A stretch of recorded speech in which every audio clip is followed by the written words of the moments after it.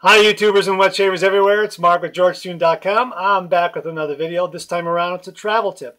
So let's say you're going to get away from the weekend.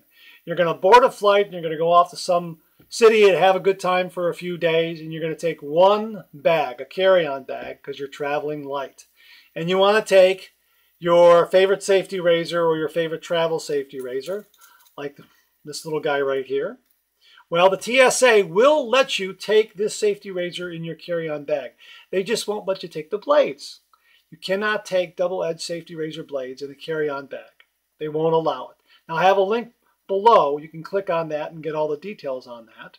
What will they allow you to take on your carry in your carry-on bag when you get on that flight? Well, they'll allow you to take an electric razor uh, like this. You can put that in your carry-on bag. You can also take a disposable razor like this in your carry-on bag or a disposable razor like this in your carry-on bag. That's permitted. They also allow you to take a cartridge razor system in your carry-on bag where the cartridge head comes off like that, goes back on like that.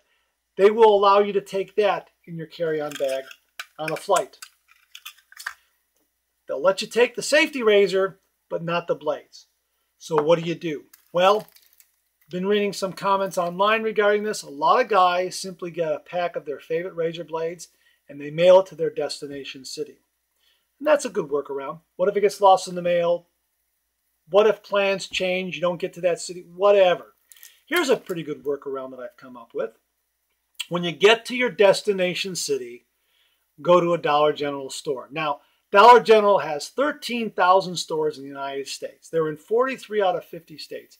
Chances are, at your destination city, they have more than one Dollar General store there. So when you get to your destination, go to a Dollar General store, walk in, and get a pack of this. Five blades, five double-edged blades for one dollar. That's all you have to do.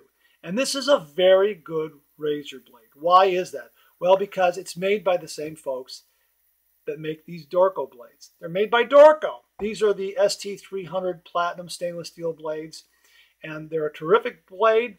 They're not the most expensive, they're not the cheapest, they're right there in the middle, and they give you a really fine shave for the money. Same thing with these. These are made by Dorco for Dollar General. They give you a really nice shave for the money. So that's a very good workaround. As a matter of fact, I used one of these blades from uh, another pack that I have here, and I used it in my Edwin Jagger short-handled razor here with the rubberized handle, and I got a really nice shave with it, a very nice shave with it. So it's a good blade.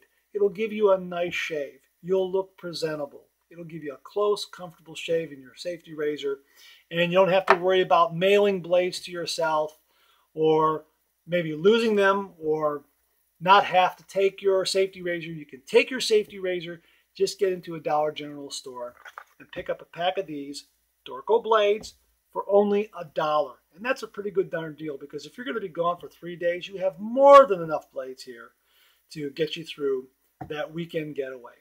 All right, hey, that's it. That's all I wanted to mention to you. Thanks very much for tuning in. Comment below. Let me know. Check out my blog, georgetoon.com slash blog for my comic strip George other cartoons, other videos like this, and I'll see you again real soon.